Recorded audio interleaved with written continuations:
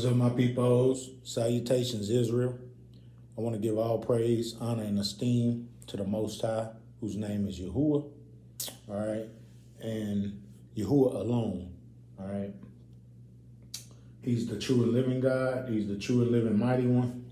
And he is uh, the only one we should be serving, the only one we should be calling upon. All right. Um, the New Testament Messiah is not our Savior. The Most High is our Savior. All right. The uh, the Prophet uh, Muhammad uh, in the Muslim faith is not our Savior or is not our our prophet. All right. He's not our guide. All right. The Most High left His instructions in His Torah. All right. And we are to uh, as we in these last days seek his face and begin to turn back to him, we are to uh, align ourselves with what he considers righteousness. All right. So uh, you see the title of the video. Today's title uh, is entitled Detach. Uh, let me grab my, my phone here. I'm going to read y'all some definitions. All right. Let's see here. Before I read the definitions, uh, let's go ahead and uh, look at an example of somebody important uh, in the scriptures detaching. Uh, turn to Genesis 12, and I'm going to be using my Safari app, uh, Tanakh. All right. I did, I, I when I was uh, doing the study for this information, uh, I was looking in my Septuagint as well. And uh, the Septuagint and the Tanakh, they're, they're different from the KJV. So uh, make sure going forward in your studies that you're not exclusively studying from that KJV. You got to go outside that KJV. You got to go underneath that English. What they what they gave to us is not accurate. It's not right. And they wanted to hide us from ourselves. They wanted to hide us from from the Most High. All right. They don't want us to turn back to Him because when we turn, when the remnant uh, turns back to Him, all right. When when the Most High's remnant, the people who He's gonna save at the end and give the earth over to, all right. When they turn back to Him, everything else, all the chaos stops. All right. All this treachery, all this debauchery, all this uh, wickedness is going to be done with. All right. And everybody that's attached to those things is going to be eliminated. All right. That's why we got to begin to detach ourselves from the ways of the world and the, these uh, these different social constructs and this society in particular and begin to piece our lives together surrounded by the things of Yahuwah. All right. Let's go to Genesis 12. All right. And like I said, I'll be reading from my, my Tanakh app. All right. And this is, uh, this is about Abraham, if you haven't found it yet. All right. So this is what the Most High said to Abraham in Genesis 12. Yahuwah said to Abram, Go forth from your native land and from your father's house to the land that I will show you. I will make of you a great nation, and I will bless you. I will make your name great, and you shall be a blessing. I will bless those who bless you, and curse the one who curses you. And all the families of the earth shall bless themselves by you. Abram went forth as Yahuwah had commanded him, and Lot went with him. Abram was 75 years old when he left Haran. So Abram, Abram left his father's house. All right, and as if you continue to read Abram's story, if you haven't yet, uh, the father would would uh, go ahead and, and uh, fulfill that promise, making a covenant with Abram, uh, Abram, changing his name to Abraham, and making him the father of many nations, and uh, thus setting forth uh, the process of creating a people for himself. Started it with Abraham, fulfilled it, all right, in Isaac and Jacob. All right. So that, but Abraham was told to detach from his family and detach from his land. All right. Now, That is something that is hard to do. All right. Uh, I have a bunch of family members. I love them. They love me. Uh, but we're not on the same page. And so I, I can I can just tell. I can I I know they can see it too. They got to be able to see it. How we're slowly just drifting apart. We are slowly just you know. I still I still go uh, visit people. I still have conversations with people. I still text message people, call people. Uh, comment on they on certain social media things uh, from time to time, but it ain't what it was. When I came into this truth, I started detaching myself from from all these different things, and I mean I'm still in that process.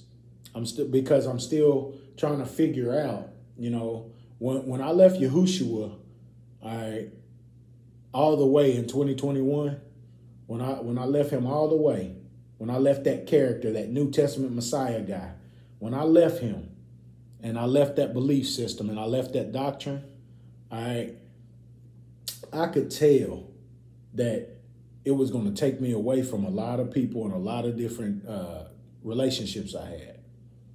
And yeah, I mean, I 2021, I, I moved out of my hometown for the first time since college. All right. And I, I I really wasn't used to to being away from the most important people in my life. You know, my mom, my sister, my brother, uh,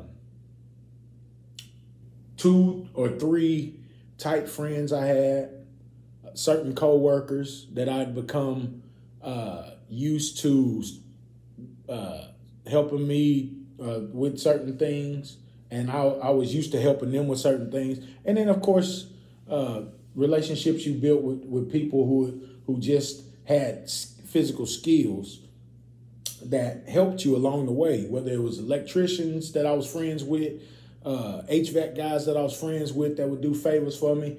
I, I know how to. I got certain skills, jack of jack of many trades or whatever. I would do stuff for certain people. You know what I'm saying? And even those relationships, I have pulled uh, kind of away from.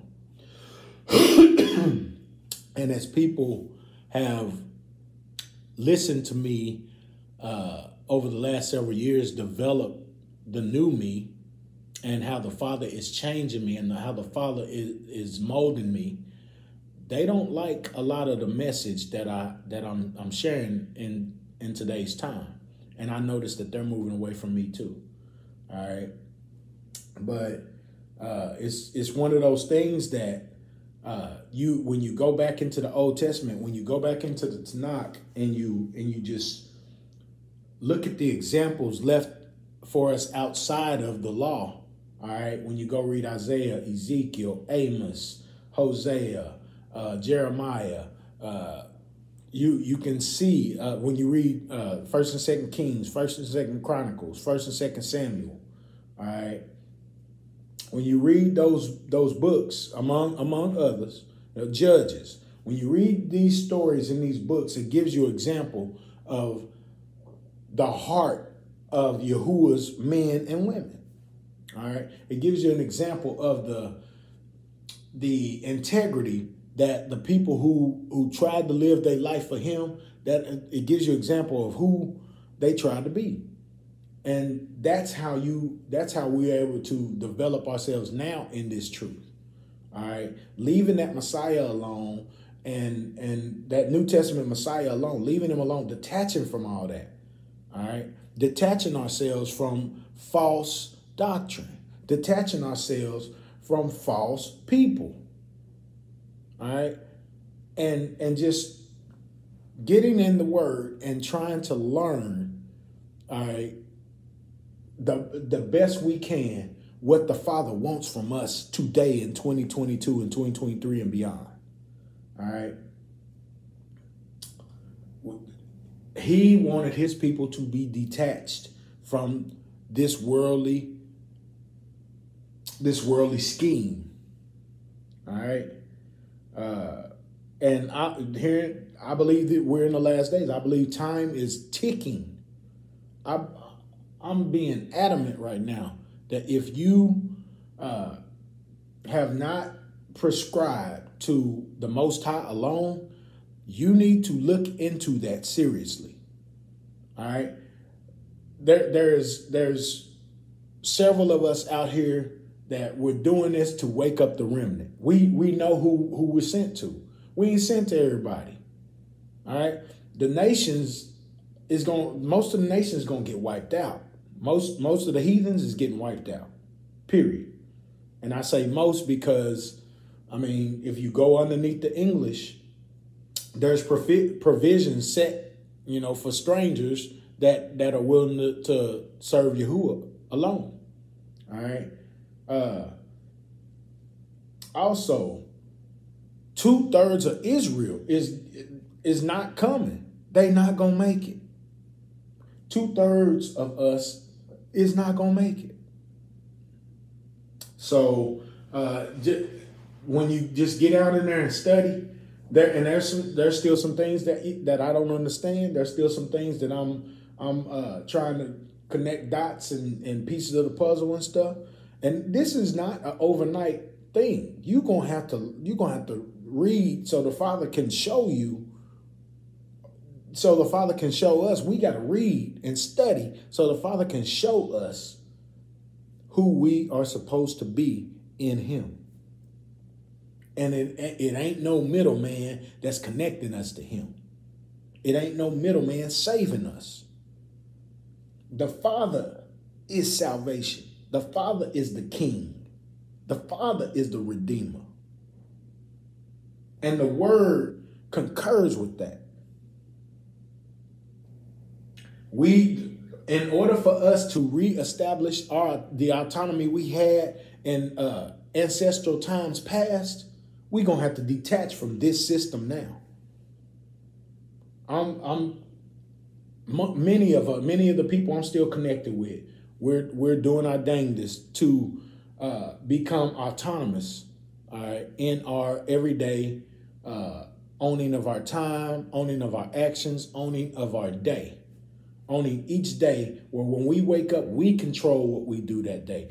Some some employer does not control what we do that day. Some uh, somebody who uh, we owe is not controlling our day, controlling our time, owning our time, owning, basically owning us.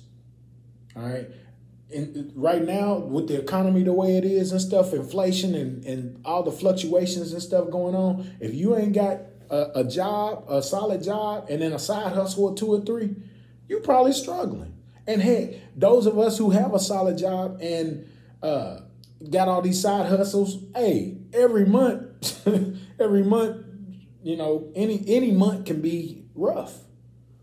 You know, if you have a motor blow up on your car and you you got some money set aside, you might be good. But if you if you got a mo- had a motor blow up on your car and then you also have, you know, something else that goes wrong that takes a chunk of money and and you know, you have to uh, be able to maneuver it, it could put you in a hole, put you in a spot. We got to be able to uh, be able to move freely outside of this system. And the Father is telling us to detach. All right. He's calling us out of this evil society. He's calling us out of this confusion. All right. He's calling us out of these different uh, manipulations that we stuck in. All right. He's telling us to realign with him and he got us. And I trust him. I trust that. All right. That's why I'm willing to detach from this stuff. All right. Let me read a few verses that that uh that are uh connected with with being detached. Uh, let's go to Deuteronomy 7 and 6. All right. We are supposed to be a detached people from this worldly mindset. All right. Deuteronomy 7 and 6. And it reads, For you are a people consecrated to your God, Yahuwah, consecrated to your, your mighty one, Yahuwah. Of all the peoples on earth, your mighty one, Yahuwah, chose you to be his, the mighty one's treasured people. All right. We were chosen to be separate. We were chosen to be different. We were chosen to be detached from this system. All right. We need to start making provisions for ourselves to detach. Uh, next, uh, go with me to uh, Exodus 23 13. Here's another way that we supposed to be detached. We supposed to be calling on Yahuwah only. All right. Exodus 23 13. Some people don't think it's important. Some people think it's okay to, to call on JC. And and y'all understand after this verse why I sometimes I say JC. I'm trying to get out of the habit of saying Jesus and Yahushua and Yahweh because those are false names. All right, that represent the position of God, that represent the position of the Almighty. All right, that that particular character in today's society is supposed to represent the position of the Almighty, and that is not. We can't do that. We can't allow that anymore. It's time to turn away from that, detach from that. All right, break loose from that, and and turn to the Most High only. All right. Exodus 23, 13. All right. Be on guard concerning all that I have told you Make no mention of the names of other gods, they shall not be heard on your lips. The Most High is taking this stuff serious. Once you come into the truth, once you've heard the truth, it's time to start making them arrangements and, and time to start making them adjustments. All right, this this it ain't a game. All right.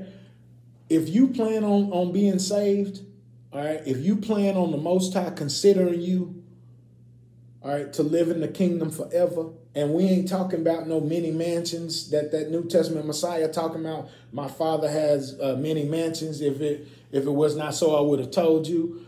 No. All right.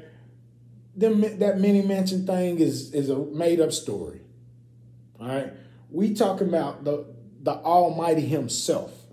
All right. We didn't. He didn't send a man to come down here. He didn't send a so called salvistic son down here to come down here, live uh, a perfect life, die, be resurrected for the sins of the world. All right, that ain't in that ain't in the Tanakh. All right, that that storyline, that doctrine is not in the Tanakh. All right, he didn't send send a uh, a person to represent the bloodline of David to save us. He's the savior. Yahuwah is the savior. All right and then then bring him back to to send him back to heaven to prepare a place for us in heaven. We're not going to heaven. All right, humanity is going to continue when the Father the, the day of Yahuwah is coming, and he going he to tear this thing up. And the remnant that's let that survives that, the people that that he purifies out of that, is going to be on the earth forever and they going and they gonna be keeping his laws, statutes, and commandments and judgments. Period. That's what it's gonna be. That's what's coming. Go read Zechariah 13 and 14. All right, another verse. Uh, Jeremiah. Let's go to Jeremiah 10. Let's go to Jeremiah 10. Right, this this is uh, a lot of you guys have have uh, I've uh, connected this with with Christmas, but I'm gonna read this from the Tanakh and let let's let's see let's see what you think.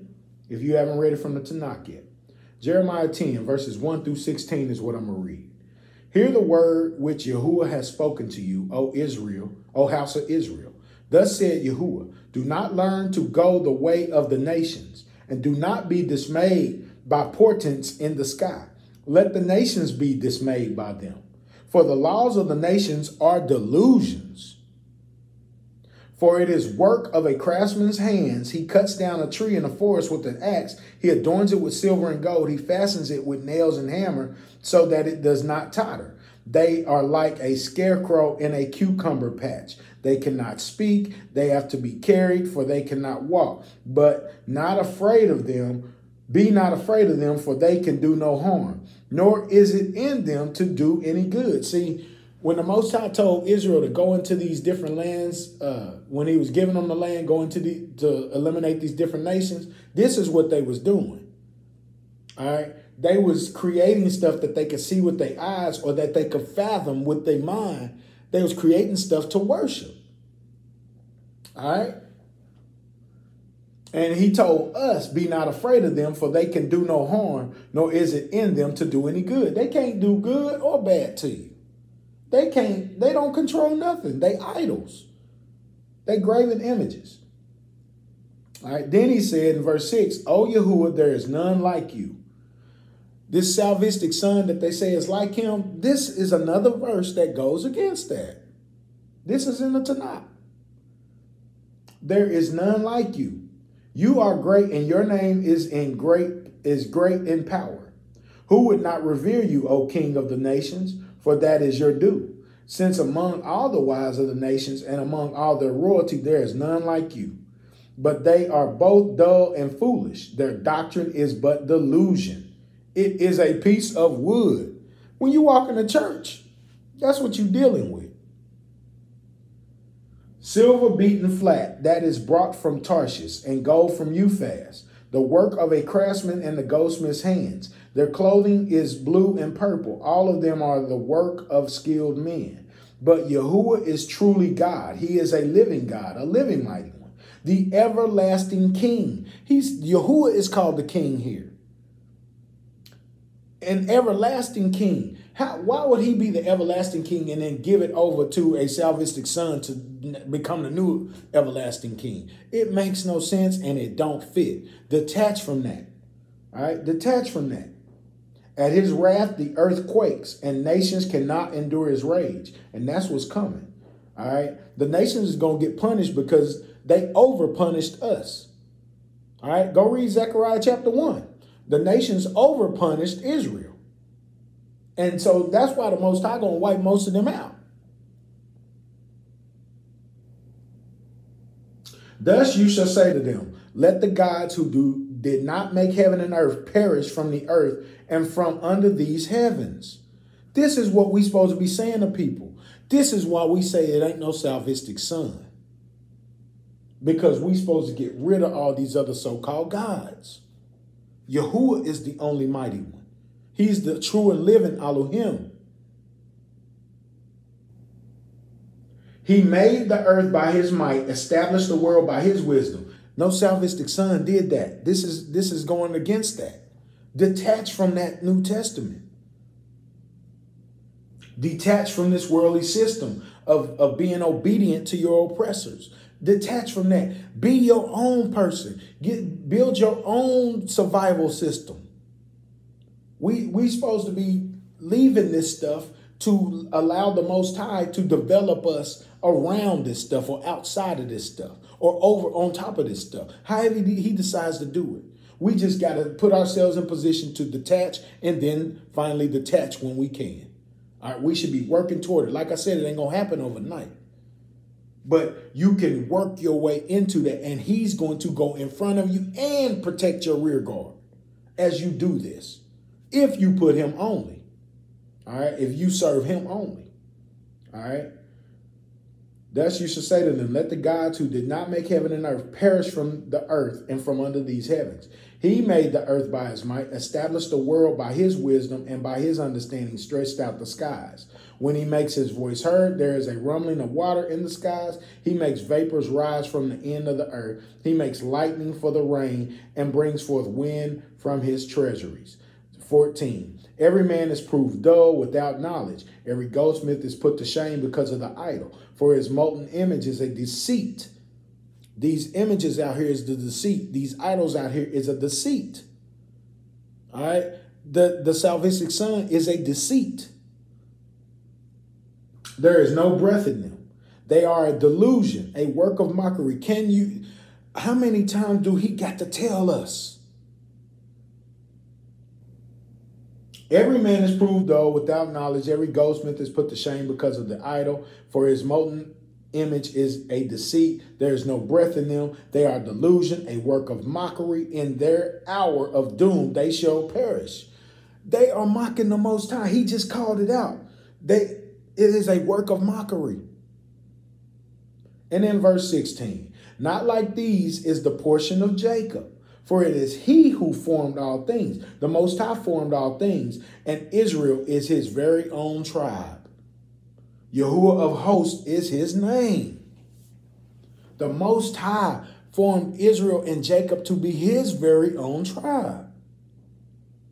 And that's why we got to detach from all this other stuff. The Most High is not in that foolishness. He is holy. He is set apart, and we supposed to be too. Right, we are his witnesses. And then the last one I want to go to uh, is Isaiah 52. Everybody know about Isaiah uh, about Isaiah 53, but how many people have, have, have read Isaiah 52? All right, let's see here. What am I looking for? All right, let's start at. We're gonna start at four. All right. It said, nope, nope. Let me just start at one. All right. It says, Awake, awake, O Zion. Clothe yourself in splendor. Put on your robes of majesty, Jerusalem, holy city. For the uncircumcised and the unclean shall never enter you again. Arise, shake off the dust, sit on your throne, Jerusalem. Loose the bonds from your neck, O captive one, O captive one, fair Zion. It, he's telling us to detach ourselves free ourselves from these chains that, that, these mental chains now Every, a lot of people say in today's time, oh, it's just as bad as it was back then. No, it ain't. We got a lot more freedom to maneuver now. If people learn how to shut their mouth and move in silence and move behind the scenes, they can escape a lot of this stuff that be befalling people. All right, Kanye hit like like Ye, Kanye West, the artist formerly known as Kanye West. Ye has been moving behind the scenes for the last few years, freeing himself of these bonds. And and and now that it, it's it's uh that Kyrie has has created the fuss that he's created, eventually Kyrie's gonna have to do the same thing. He's gonna have to free him, he's gonna have to move behind the scenes to free himself. But he already got out of one contract. Kyrie did. He got out of that Nike contract. And now he's got the opportunity to move in a way that will set up the future until the Most High resets this thing. He's telling us to make moves. He's telling us to detach from this system. A lot of people don't know how. This is where your prayer and your study comes in. So the Most High can guide you. He'll send some of us to pour into you, but He's going to guide you. For thus said Yahuwah, you were sold for no price and shall be redeemed without money. as we make these moves, these behind the scene moves to, to detach from this system and detach from, from the way this, this world has, has brainwashed us and manipulated us, the Most High is going to intervene on our behalf at all the different turns that we need him to. For thus said the master, master Yahuwah, of old my people went down to Egypt to sojourn, sojourn there, but Assyria has robbed them, giving nothing in return. What therefore do I gain here, declares Yahuwah? For my people has been carried off for nothing. Their mockers howl, declares Yahuwah, and constantly, unceasingly, my name is reviled. Be, the Most High is going to save us, going to save the remnant, all right? Because he wants his name to be held in its high, the highest esteem that it's supposed to. and right now it can't be because his people are being trampled on. His heritage is being trampled on. It was part of our punishment, but they went too far. They they've overpunished us. And they, they've manipulated the system thinking that they can get away with it. The most high ain't gonna let them get away with it. All right, let's let's move down. All right. All right, number 11. Turn, turn away. Touch not unclean as you depart from there. As we detach, align ourselves with his words, with his instructions, with his rules, with his commandments, with his laws, with his judgments, with his statutes, to the best of our ability. We have to start aligning ourselves. Now, I'm I'm not the one that's supposed to tell you exactly what you're supposed to be doing, what you ain't supposed to be doing. I'm, I ain't that one. I'm here to share the message of the Most High and give you give you this information that He's already put there. He said He's gonna write His His words on our mind, on our heart, that no man will have to tell the other about Yahuwah. He gonna do that. All right. What we supposed to do is learn what righteousness is, learn what he considers righteous and right and just, and try our best to do those things as we detach from this system. Keep pure as you go forth from there, you who bear the vessels of Yahuwah. Do your best to stay clean. Do your best to follow his instructions. Go study Ezekiel, and that that will let you that will help Ezekiel, knowing Ezekiel, you know, and knowing knowing uh, what's in Leviticus and Deuteronomy, uh, and and all the law, and then going and seeing what Ezekiel said, and then go study uh, the the other prophets, and then study the ancestors, study the the, the, the our descendants. Study how Moses handled things. Study how Solomon handled things before his fall. Study how David handled things. Study how how uh, Yahushua son of Nun handled things when he was given that, that leadership role. Indeed, hold on, hold on, hold on, hold on. You for uh, for you will not depart in haste, nor will you leave in flight. For Yahuwah is marching before you. The mighty one of Israel is your rear guard. And I just told y'all that. That's what I was talking about right there. And then verse 13, indeed, my servant shall prosper, be exalted and raised to great heights. The most we are the most high servant. Israel is his son and his servant, and we he's going to, to lift us up and redeem us eventually. All right, if we're doing what we're supposed to be doing. And then I, I wrote this note real quick, and then we're gonna get out of here. The reasons why we should be working to break free from this system and detach from this, the way the society is set up now. All right, I wrote three things down. One, so we can follow Yahuwah's, Yahuwah's rules unwavering, uninterrupted, and unedited. Eventually, he will sit each one of us where we're supposed to be in, in his righteousness. Number two reason uh, why we should be working to break free from this system. Because this system is going down. The way it's set up now, how it manipulates people and makes the rich richer and the poor poor, and, and how it, it starves people, all right? This system is going down. So if you detach from this system and you no longer need this system, when it goes down, you when you sitting outside the outside of bounds while everybody else is in there still fumbling around, you ain't got to worry about nothing. You done already detached. And you doing your thing over here. And the people that's supposed to be with you will be with you. And the ones that, that ain't with you, uh, you got to detach your mind from them. Me and my wife have conversations about detaching our our uh, our minds and our emotions from certain people in our lives. We got to do it because we got to prepare either for uh, society's crack, uh, when society cracks and crumbles, or when our, those particular individuals in our lives who are not living for Yahuwah, when they crack and crumble. We got to prepare ourselves for that. And you should be doing the same thing.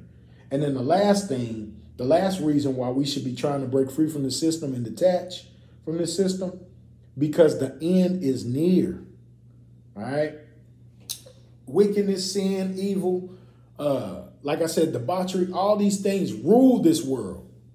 All those things are, are, good has been made evil and evil has been made good. If you tell the truth, they censor in your butt and they, they mess around, kick you off social media for telling the truth. All right. They'll call you all kind of all kind of different things, especially anti-Semite. They man, that that's crazy. All right. But but here's the thing.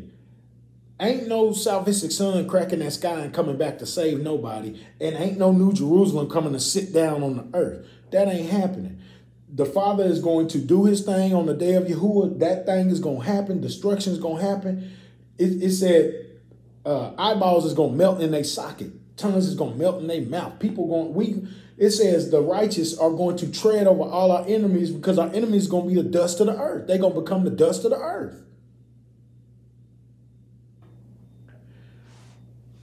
At the end of the day, either you progressing or you regressing. Either you elevating and leveling up, or you just you detach from the most high. and you not everything you think you're doing don't even matter. And we're gonna go out with this Second Chronicles 7 and 14. I've been reading this a lot because I want to get it through y'all head. All right, I want I want to get this out there. I don't want to just get it through y'all head. I want to get it out there. Uh, the Tanakh, the Tanakh says it different than the KJV. All right, Second Chronicles seven and fourteen. See, the Tanakh said makes it uh, conditionary. All right, the, uh, I mean uh, the KJV makes it conditional. All right, if the KJV says if, but the Tanakh makes it a historical event that's going to happen. All right. Second Chronicles 7 14. When my people, it don't say if my people in the Tanakh. It says when my people in the Tanakh. When my people who bear my name humble themselves, pray, and seek my favor and turn from their evil ways. That's what we supposed to be doing right there. That's how you detach. That's how you detach from the system. We, we humble ourselves. When we pray to Him, we pray to Yah. We seek Yah's favor and we turn from our evil ways. And we, we only know what evil is when we go back to the law. He told us what evil was in the law and in the prophets and in the Psalms. That's how we know what evil is. All right. I will hear in my heavenly abode and forgive their sins and heal their land. This is it right here. This is how we detach. This right here is how we detach. And this is not anywhere in chapter and verse, but this is how my brain is working on this. And I'm gonna just I'm gonna just put it out there. This is not something that I'm I'm telling people to do, but I'm just putting it out there so people can can have, you know, you can have conversations about it. All right, and you can uh just have it on your thought process and think about it and, and, and meditate on it, marinate on it, study it, and see see if it come if it if it bodes well for you. All right. Get in them Ten Commandments learn all the laws that that uh, pertain to you. Every law don't pertain. The whole 16, 613 don't pertain to everybody. There are laws for children. There are laws for women. There are laws for pregnant women. There are laws for uh, uh, priests. There are laws for strangers. Everything don't pertain to to everybody. All right. Learn those and, and keep what you can keep until you can further progress. Each year you, you should be able to progress every six months, every year, something like that. That's not, don't get me wrong. I'm not saying that that is how we do it in, in scriptural. I'm saying that's how I'm looking at it until the Father brings me further along. And he brought me to that point. He's brought me to this point. Another thing, the abominations. Look at the abominations. Don't do that stuff. All right. See if anything that he said woe to. See if that fits you. If he said woe to something and it fits you, stop doing it. The things that he hates. Look at learn the things that he hates and don't do that stuff. All right. So this is how we detach though. And this is how we improve uh, our chances of Yahuwah saving us. So uh, that's it. That's that's uh, this message, y'all. I didn't mean for it to be this long, but uh, Yahuwah's will be done, right? Uh, just want to give a shout out to everybody. Stay studied up. Go look for yourself. Don't take my word for it. Don't take no teacher's word for it. Eat the meat, spit out the bones. All right, but be looking for yourself for sure and be praying and do what Chronicles, uh, Second Chronicles seven says right there in fourteen. Do what that says. That's the Most High's word right there. Do what that says. All right. And he will condition you and, and mold you and shape you into who he wants you to be going forward. All right. Stay humble. Always be willing to listen to somebody, but don't don't don't accept everything that you hear as truth. Seek these things and search these things out for yourself. Much love, y'all. And remember, I ain't got all the answers, but I'll share what I learned. Well, I'll share what I learned. shalom, shalom.